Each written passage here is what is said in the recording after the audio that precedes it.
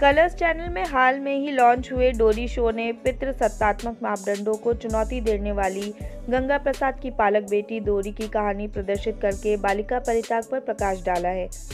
वाराणसी में सेट किया गया यह विचारोत्तेजनक ड्रामा छह साल की दृढ़ लड़की के इर्द घूमता है, जो कैलाशी देवी ठाकुर की रूढ़ीवादी मानसिकता के खिलाफ खड़ी होती है, जो वाराणसी में सबसे बड़े हथकरघा साम्राज्य की मालकिन है और ठाकुर घराने पर कड़ा नियंत्रण रखती है। कलाशी देवी ठाकुर के रूप में, सुधा चंदन, गंगा प्रसाद के रूप में, अमर उपाध्याय और डोरी के रूप में, माही भानुशाली अभिनीत यह कहानी प्रगतिशील और रूढ़ीवादी सोच के टकरावों को प्रदर्शित करने के लिए प्यार बटोर रही है।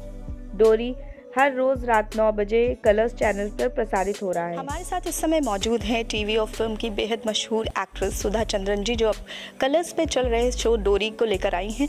उसका प्रमोशन करने लखनऊ पहुँची हैं। चलिए सीधे उनसे बात करते हैं उनके कैरेक्टर को लेकर बात करते हैं। मैम हमारे चैनल में बहुत बहुत स्वागत थैंक यू सो मच बहुत डोरी सीरियल बहुत चल रहा है और काफ़ी लोगों से पसंद किया जा रहा है। आप जो कैरेक्टर निभाते हैं वो आइकॉनिक हो जाते हैं। तो क्या कुछ खास देखती हैं आप चुनने के पहले कैरेक्टर को? मैं करती हूँ इसलिए कैरेक्टर आइकॉनिक होता है या आइकॉनिक कैरेक्टर्स मेरे पास आ जाते हैं। मुझे ऐसा लगता है कि है मैं बहुत ही लकी रही हूँ कि अच्छे अच्छे रोल्स मेरे पास आ गए। एक एक्टर के लिए सौभाग्य की बात है क्योंकि हर एक्टर तरसता है कि कोई अच्छा रोल मिले। बट मैं बहुत ही लकी रही हूँ कि मुझे अच्छे अच्छे रोल्स मिलते रहे। तो मैं बहुत कोशिश करती हूँ कि मैं अच्छे से परफॉर्म करूँ और मैं एक अलग अंदाज में परफॉर्म करने की कोशिश करती हूँ। बट येस मेरे लिए हमारे मेरे लिए director is a captain of the ship तो हर सीरियल में जब भी मैं जाती हूँ, पहले दिन मैं यही बोलती हूँ कि डायरेक्टर आप मुझे एक बेस दे दीजिए, एक फाउंडेशन दे दीजिए, उसके बाद मैं अपना एक जो मेरे जो इनपुट्स है, वो मैं डालूँ जब कोई भी सीरियल होता है, जब बदनाम होता है, उसमें सुधा चंदन आ रही है तो उसका एक अलग इम्पैक्ट पड़ता है। डोमिनेटिंग है, सारे कैरेक्टर्स को अंडर कवर कर देती हैं, ऐसा कुछ है।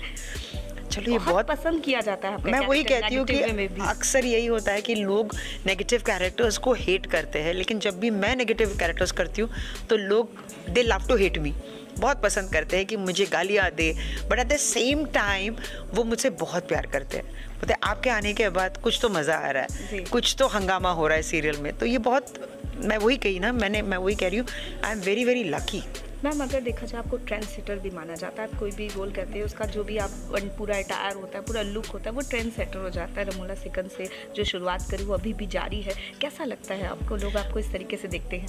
जी, वही बहुत बड़ी रिस्पॉन्सिबिलिटी है, क्योंकि डर लगने लगता है। क्योंकि आपके जब आप दूसरा नया सीरियल शुरू करते हो तो एक तो किरदार पे आपको ध्यान देना पड़ता है कि इसमें नयापन क्या आप लेकर आ सकते हो as far as costumes are concern आपके लुक के बारे में। तो इतनी सारी चीज़ें होती है बिकॉज़ मैं मानती हूँ कि मैं तीस पैंतीस साल से इंडस्ट्री में हूँ बट हर किरदार मेरे लिए नया किरदार है। तो उसमें कुछ एक नयापन एक यू नो कुछ अलग हम करने की कोशिश करें तो वो एक रिस्पॉन्सिबिलिटी है। ऊपर से अरे आपका लुक क्या है? आप क्या लेकर आ रहे हो? हाँ। तो वो एक एडिशनल रिस्पॉन्सिबिलिटी है। तो ये सारी चीज़ें इनिशियल स्टेज में बहुत ही मतलब कठिन हो जाता है। बट येस टुडे हमारे पास एक अच्छी टीम है जो काम कर रही है। जैसे कलर्स की एक टीम है जो डिसाइड करती है कि भैया ये हमारा लुक है इस कैरेक्टर का ये लुक होना चाहिए। हालाँकि हमने बहुत स्टिकर बिंदीज वगैरह लगाने की कोशिश की बट उन्होंने they put their foot down said कि नहीं हमें सिंदूर ही चाहिए। हम अगर डोरी की कैलाशी ठाकुर और सुधा चंद्र में क्या सिमिलर ज़मीन आसमान का फ़र्क है। ज़मीन आसमान का फ़र्क है सोच तो बिल्कुल ही नहीं है बट यस अगर आप कैलाशी ठाकुराइन की जो एक कन्विक्शन की बात है सही हो गलत हो वो अपने प्रिंसिपल्स पे अड़ी रहती है। तो वही सुधा चंद्रन भी है। मैम अपने फ़ैन से क्या कहना चाहेंगे? फैंस जितना प्यार उन्होंने मुझे दिया है, शायद मैं मैं बहुत लकी हूँ।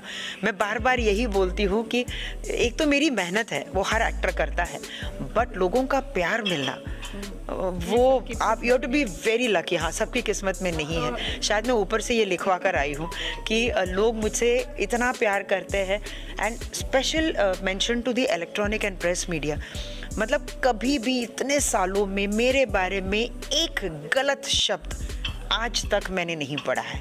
नेवर तो I am very thankful to the press एक इमेज को जो मैं हूँ उसे सामने प्रेजेंट करना बहुत आई थिंक ऑडियंस और एक्टर के बीच में एक कड़ी जो है वो प्रेस है। और उन्होंने मुझे इतना क्लीन इमेज दिया है तो मैं हमेशा शुक्रगुजार हूँ। है। और जो मैं हूँ वैसे ही उन्होंने मुझे प्रेजेंट किया है। थैंक यू चैनल न्यूज़ को बेल आइकन दबाकर सब्सक्राइब लाइक और शेयर ज़रूर करें।